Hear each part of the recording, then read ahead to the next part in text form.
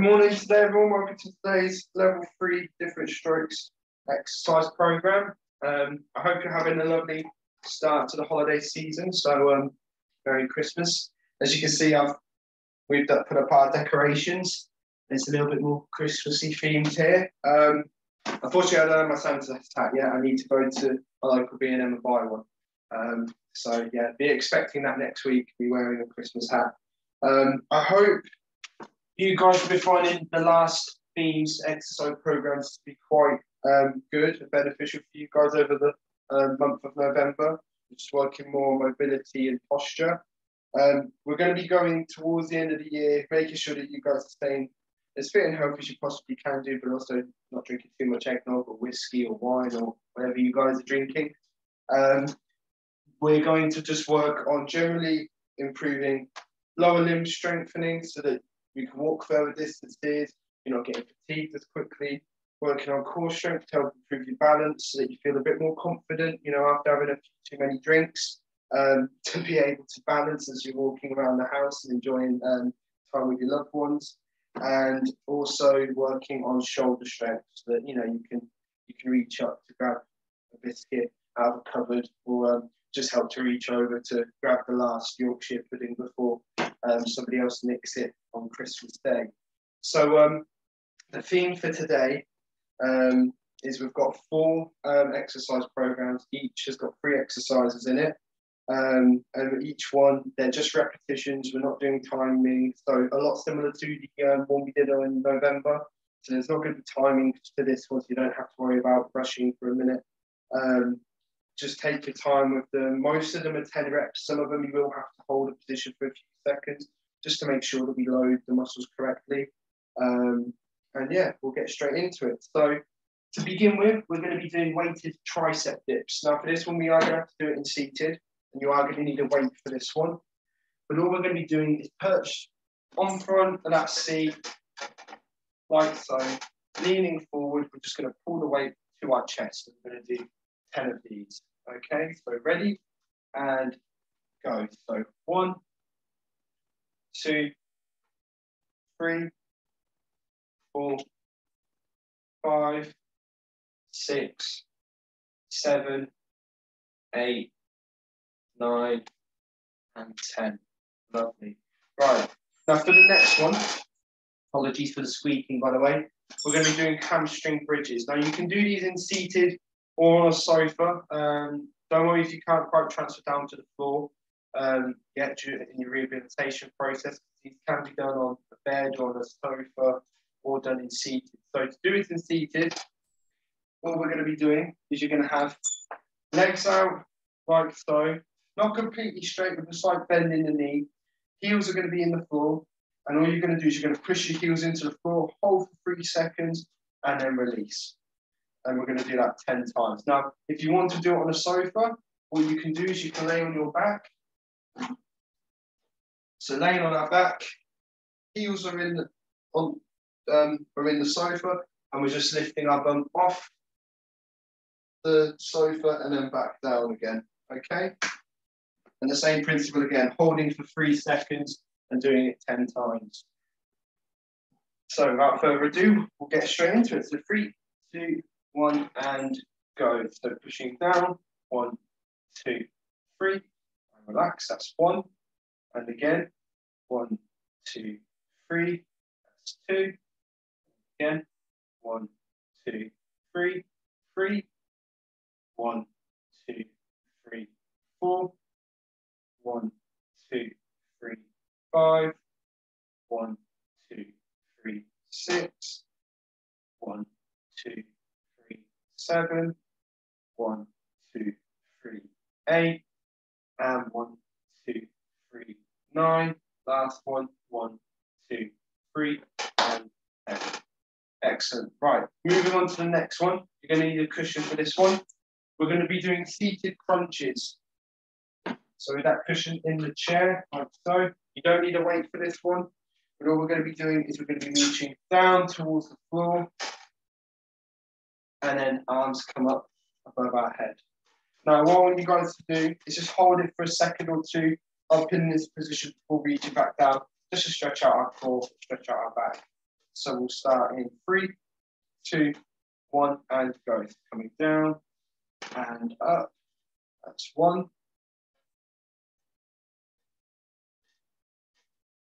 Two. Three. Four. Five. Six. seven, eight, nine, and 10. Lovely.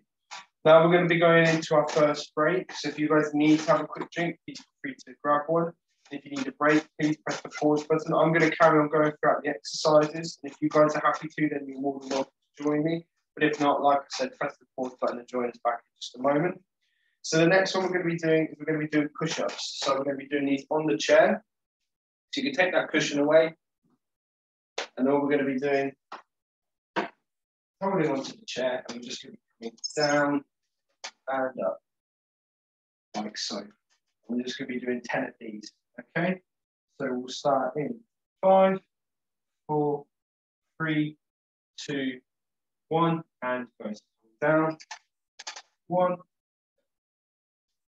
two, three, four, five, six, seven, eight, nine, ten.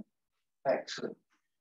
Moving on to the next one which is going to be standing as well. You're going to need a resistance band for this one, and you may need help just to tie it up quickly.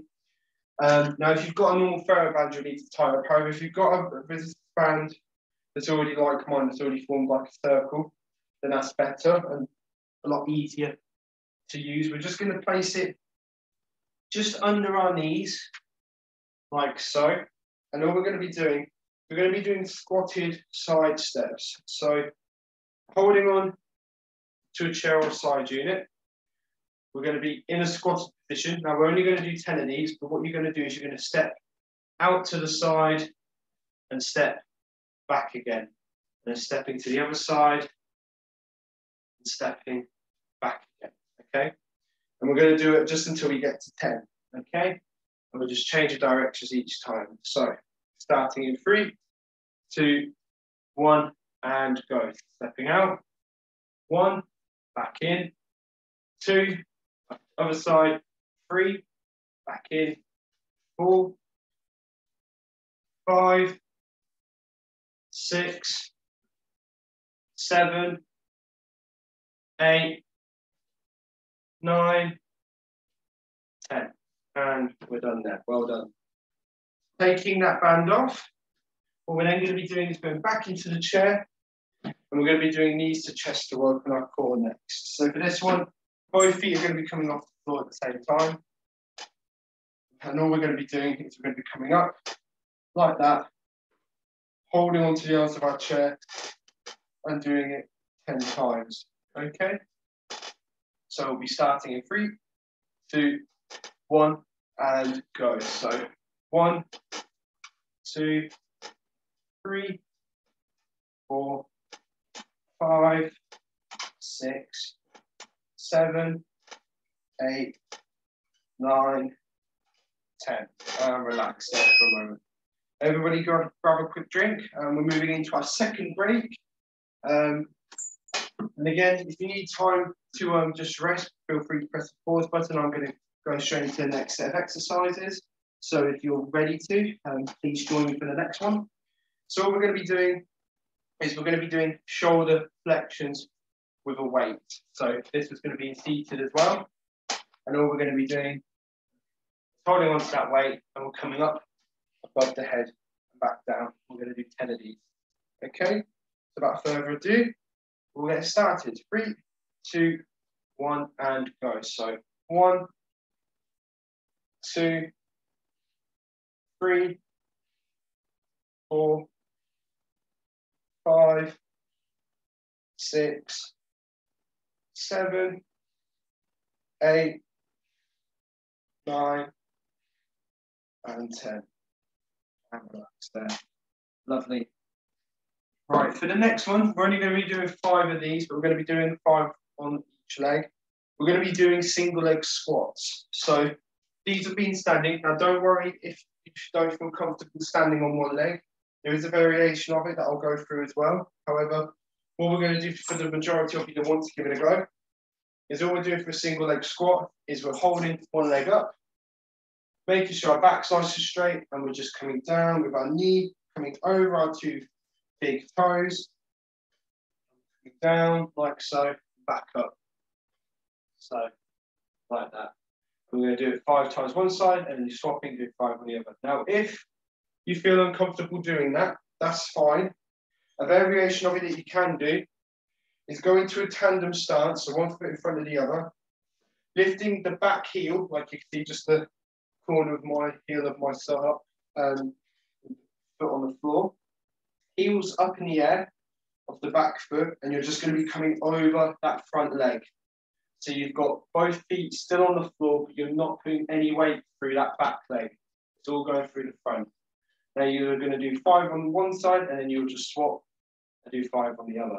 Okay? So if everyone's happy with that, we'll go straight into it. So doesn't matter which side you start with, just pick a side, and we're going to be doing five reps. So ready? Three, two, one, and go. So one, two, three, four, five, and swapping. On the other side, one, two, three, four, five. Excellent, and relax there. We're then coming back into the chair, and we're going to be doing leg raises. So for this one, all we're going to be doing is legs are out in front, and we're lifting up like so towards the stomach, okay?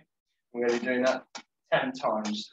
Okay, so we're starting in three, two, one, and go. So one, two, three, four, five, six, seven, eight, nine, last one, ten. Lovely. Now for the next one, we're going to have a break quickly I'll just go through the next exercise for you guys that want to continue. And remember, you can press the pause button if you need to have a break. This one, we're going to be doing bicep curls. Now, there's two ways you could do this one, either leaning up with your back against the wall or in the chair. Leaning up with your back against the wall will allow you to get a bit of a better stretch, a better positioning um, with your elbows. However, if there isn't a wall free, like in my house, there isn't a wall free, especially with the tree being here, um, then doing it seated is fine. But what you basically do is if you imagine that there's a wall behind me, just here where my hand is, all you'd be doing is you'd be leaning with your shoulders at the back on the wall, and you're just going to be doing bicep curls to the chest and slowly coming back down, letting those elbows stretch out. However, if not, seated in the chair, perched forward slightly, all you're going to be doing is coming down and then up towards the chest. Okay? We're going to be doing this one 10 times. Now, this is the last circle we'll be doing before we move on to a quick stretch at the end. So we'll start in three, two, one, and go. So one, two, three, four, five, six, seven, eight, nine, and 10. Lovely. We're then going to be moving on to the next exercise, last lower limb exercise of the day. You're going to be using a resistance band again. Now for this one, we're going to have the band around our ankles, okay? So just be careful not to trip over it. If you want it a little bit higher, by all means you can do, but I'd say try not to bring it anywhere higher than the knees. All we're going to be doing is if the band, I've got to walk like a penguin. With the band around our ankles, like you can see just the bottom there, all we're going to be doing is we're going to be doing hip extensions or backward stepping. So holding on to the back of that chair, all you're going to do is just going to take a step back, hold it for a second, and then forward again. We're just alternating, and we're going to do 10 in total. Okay, so we'll start in three, two, one, go. So one, two, three, four, five, six, seven, eight, nine, and 10. Excellent. we take that band away, move on to the last exercise. So, for the last one, you may need a tad bit of help if you struggle still with some arm mobility. But all we're going to be doing for this one, sitting forward, we're just going to be tapping our heels, leaning back. As we lean back, arms come up above our head and back down again, and touching our heels like so. Okay, we're going to do that 10 times. This is the last exercise we're doing, and then we'll move on to a stretch to finish off with. Okay, so everyone, we're going to start in three, two, one, and go. It's coming down and up. It's one, two, three, four, five, six, seven, eight, nine, and 10. Lovely. And just give it a little bit of a shake. Good. So, well done today, everyone. That's the exercises done with. Now we are going to move into a quick cool down um, to finish off with. So the first thing we're going to be doing is we're going to be working on our trunk. So hands on our shoulders or holding hands together like that. All we're doing is we're just twisting one side to the other. So we do this a few times, stretching out our spine. Lovely. Then we're going to bring knees to chest, hold it for a few seconds, then coming down. Just going to alternate a few times, coming up to chest, back down. Good, last one. Lovely. What we're then going to do is we're going to rotate our shoulders forward. Now back. We're stretching our legs out in front and we're reaching down towards our toes. Hold it for a few seconds and coming back up. Back down. And back up. Down once more. And back up. And then we're going to just finish off by bringing arms up in front. Hold it for a few seconds. Back down. Good. Coming back up and back down. And one last time, coming up and back down. Just gonna give ourselves a little bit of a shake to afterwards. So well done today, everyone. I hope you had a good session today, and I hope you've been having a good Christmas so far. Um, like I said, next week expect to see a, a, Christmas hat on. I will be wearing one as we get closer to, to Christmas. Um, and yeah, I hope you continue to have a lovely Christmas. And yeah, I'll see you next week. Take care, everyone. Bye.